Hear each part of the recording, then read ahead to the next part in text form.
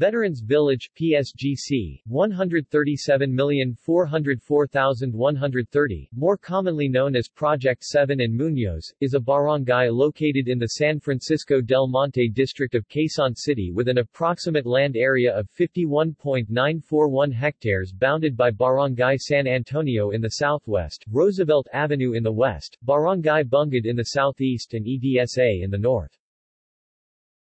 Neighboring barangays include Bahay Toro, Katipunan, Sto, Cristo, Alicia, Paltok, Phil-Am, Del Monte and Bagong Pag Asa under the 1st Legislative District in Quezon City, Metro Manila, Philippines. History People's Homesite and Housing Corporation PHHC the People's Homesite and Housing Corporation played a major role in the development of Quezon City after the city's inauguration as the nation's capital on October 22, 1949. It was responsible for the development of the 1,572-hectare land purchased as early as 1938 belonging to the Diliman estate of the Tuason family. Construction of the Roxas home site, originally called Project 1, along Diliman Creek commenced the series of in-city housing projects namely, Quirino District Projects 2, 3, and 4, Magsaysay District Project 6, with the very first Newsman Row in the country, Bagong Pag Asa, which was the first informal settlers resettlement area, Veterans Village Project 7, and Toro Hills Home Site Project 8. From the original land appropriated to Project 7, PHHC decided to split the area into North Bago Bantay and South Bago Bantay. The northern portion is now Barangay Ramon Magsaysay while the southern part officially becomes Veterans Village after a Quezon City resolution was passed in 1956. Development of North EDSA Corridor after the completion of SM City North EDSA as the country's first SM supermall, the area has developed into a commercial strip of office buildings, car dealerships, a community-based mall, an LRT station and transport hub for commuters going to and from northern Quezon City, Camanava and Bulacan areas.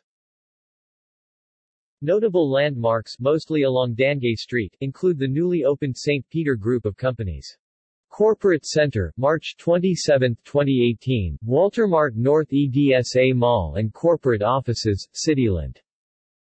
S. North Residences Condominium, Panorama Development Corporation.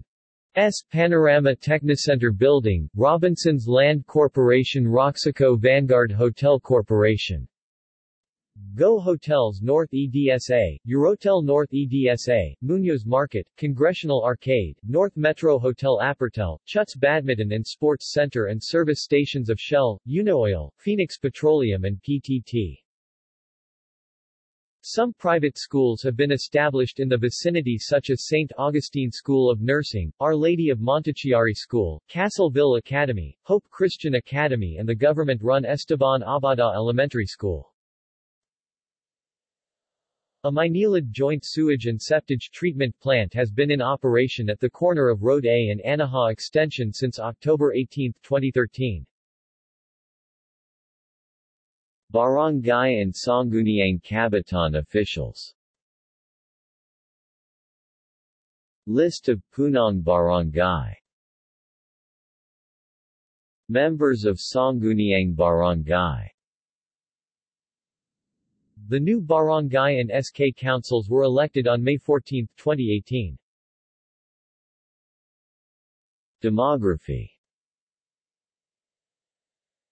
As of the 2015 census of the National Statistics Office Philippines, the population of Barangay Veterans Village is 11,520. Facilities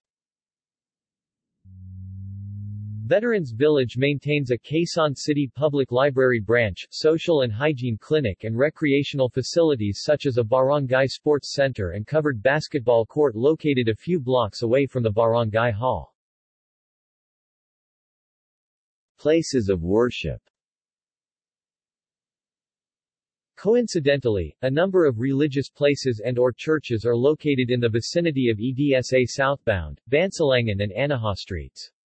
These are Word of Hope Church, Pentecostal Missionary Church of Christ, Jesus is Lord, Church of Christ, Ang Dating Daan, Local Ng Munoz, National Shrine of Ina Poon Bato under Apostolic Catholic Church and the Roman Catholic Parish Church of Christ the King.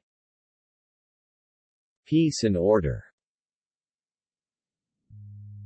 Barangay Captain de Jesus was sued for gross neglect of duty complaint by MMDA General Manager Thomas Orbos at the Office of the Ombudsman on April 10, 2017.